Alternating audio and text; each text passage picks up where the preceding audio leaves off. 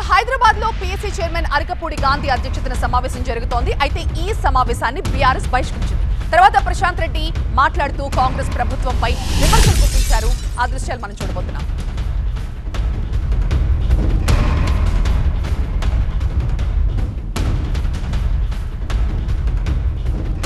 Party సభ్యుడే Jeevan Reddy గారు మొన్న letter రాసినారు వల్ల అధిష్టానానికి లెటర్ రాసినారు ఈ లెటర్లో జీవన్ రెడ్డి గారు అన్న మాట ఏంటంటే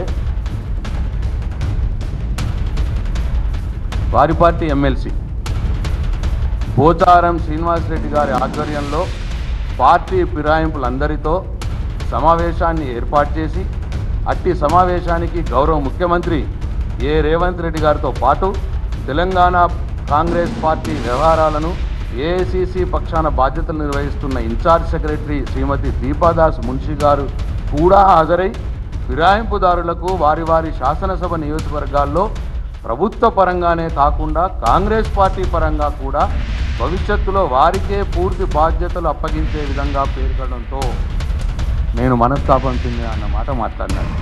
ఆయన ఆయన లెటరే ఇది. జీవన్ రెడ్డి గారు వారి హైకమాండ్కి రాసిన లెటరు. చాలా ఏమన్నాడంటే వీళ్ళు పార్టీ మారలేదు గాంధీ గారు అంటున్నారు కదా. మేము చేర్చుకోలేదు అంటున్నారు కదా శ్రీధర్ బాబు గారు. దీనికి ఏమి సమాధానం చెప్తాడు పోచారం శ్రీనివాసరెడ్డి గారి ఇంట్లో పార్టీ మారినటువంటి పది మంది ఎమ్మెల్యేల ఫిరాయింపుదారులతో ముఖ్యమంత్రి స్వయంగా మీటింగ్లో పాల్గొనడం దీపాదాస్ మున్షి గారు దానికి హాజరు కావడం ఏఐసిసి ఇన్ఛార్జి ఇది బాధ అని చెప్పి అన్నాడు. ఇగో ఇది సాక్ష్యం.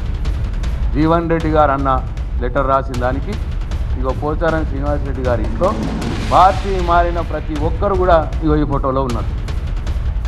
దీంట్లో ఈ లాస్ట్కున్న వ్యక్తి గాంధీ గారు. ఇవాళ వీరిని పిఏసీ చైర్మన్గా నియమించినారు.